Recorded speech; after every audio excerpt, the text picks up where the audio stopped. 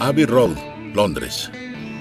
Hace cinco décadas, cuatro jóvenes hicieron famosa esta calle en todo el mundo. Y a unos pasos por esta calle, el 25 de junio de 1967 interpretaron una canción en vivo por satélite para una audiencia de casi 500 millones de personas. Esa canción era Todo lo que necesitas es amor. ¿Es realmente ingenuo pensar que el amor puede cambiar el mundo? La historia de nosotros, lunes a las 22